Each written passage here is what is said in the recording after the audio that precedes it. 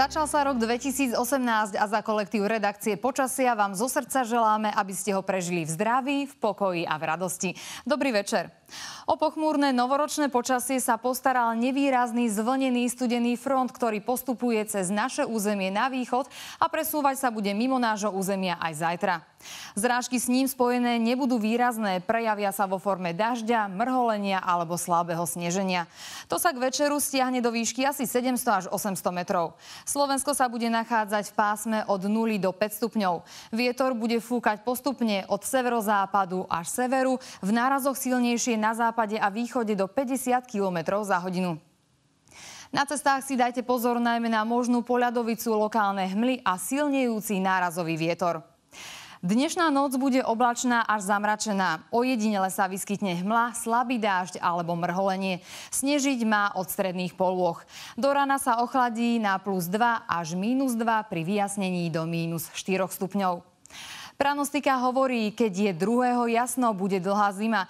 Zajtra však jasno nebude, pripravte sa skôr na zamračenú oblohu, lokálne hmly a kde tu aj zrážky.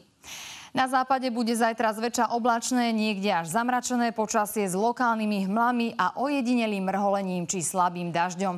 Teplota vystúpi na 2 až 7 stupňov a zafúka silný až prudký nárazový vietor.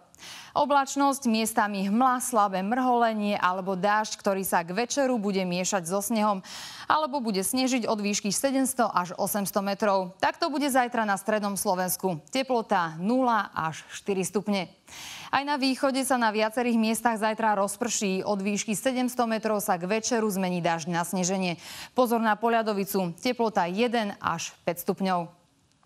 Na horách pribudnú ďalšie centimetre prírodného snehu. Do výšky asi 800 metrov to budú zrážky zmiešané alebo dažďové. Vo výške 1500 metrov má byť okolo minus 2 stupňov. Bio trojka, mierna záťaž. Aj v ďalších dňoch bude zväčša oblačno až zamračené s hmlou a dažďom alebo zmiešanými zrážkami, približne od 500 až 600 metrov snehovými. Sneženie sa však postupne stiahne do hôr, lebo do soboty sa oteplí na 4 až 10 stupňov. Školáci majú ešte prázdniny, ak sa chystáte lyžovať, ponúkame zo pár typov. Na skalke majú do 80 cm snehu, Vyšná slaná má oveľa menej 20 cm, no dobré podmienky a podobnú výšku snehu hlási aj Zochová chata.